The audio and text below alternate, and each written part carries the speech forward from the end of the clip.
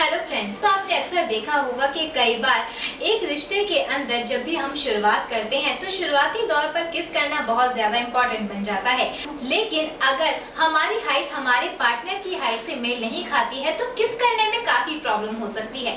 चलिए आज जानते हैं कि अगर आपके पार्टनर के साथ आपका हाइट इशू है तो आप किस तरीके से उन्हें किस करने के नए नए तरीके सोच सकते हैं? अगर आप अपने पार्टनर को किस करना चाहते हैं तो आप सबसे पहले हाइट एडजस्ट कर सकते हैं। या तो आप खुद बैठ जाइए, या या फिर अपने पार्टनर को किसी ऊँची जगह पर खड़ा कर दें। ऐसा करने से आपकी हाइट भी एडजस्ट हो जाएगी और आपको किस करने में प्रॉब्लम नहीं होगी।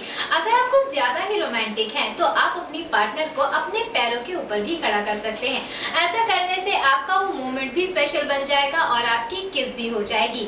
आप चाहें तो एक साथ बैठकर भी किस कर सकते हैं लेकिन अगर आप चाहें तो एक दूसरे को फ्लाइंग किस भी दे सकते हैं क्योंकि किस करने के काफ़ी तरीके होते हैं। नो मैटर व्हाट के आपकी हाइट कैसी है। सो so, दोस्तों इन सारे तरीकों को ज़रूर अपनाइए और मेरी हेल्थ और ब्यूटी से रिलेटेड वीडियोस को देखने के लिए यूट्यूब पर लाइक शेयर और सब्सक्राइब कीजिए।